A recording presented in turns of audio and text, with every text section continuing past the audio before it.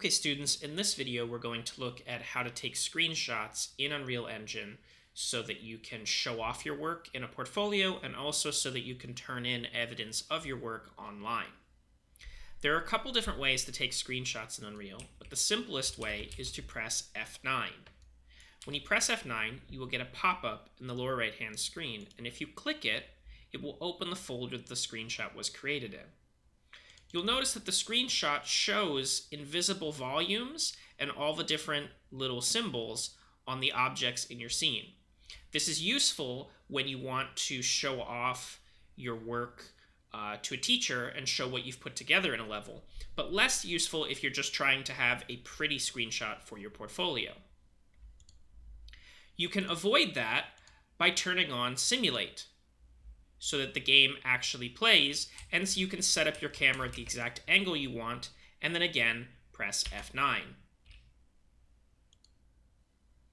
Notice this second screenshot is missing all of the volumes. Your second tool for taking screenshots is under this arrow over here that most people miss to the left of the perspective button. At the bottom in here, is the high resolution screenshot tool, which opens up this. You need to be careful with this number right here. This increases the size of your screenshot. The higher you make it, the more resolution your image will have, and it can go very high, but the longer uh, your graphics driver can completely crash or go unresponsive. For this example, I'm going to make it three times larger than my window. It's based on the actual window size on my screen. Notice I'm still simulating here because I don't want the volumes to show. If I wasn't simulating, again, I would see the volumes.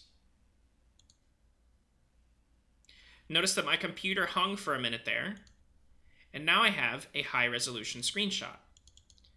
If we compare it to the previous one, it is significantly bigger, and in fact, I can zoom in quite a bit.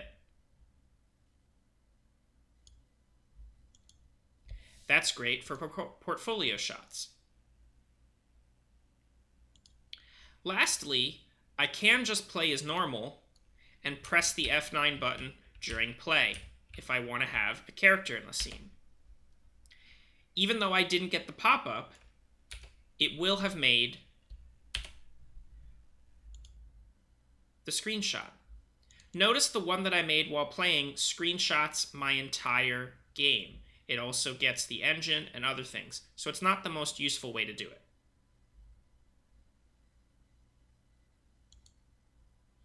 All of these are ways to get great PNGs to upload for your portfolios or to turn in for assignment work.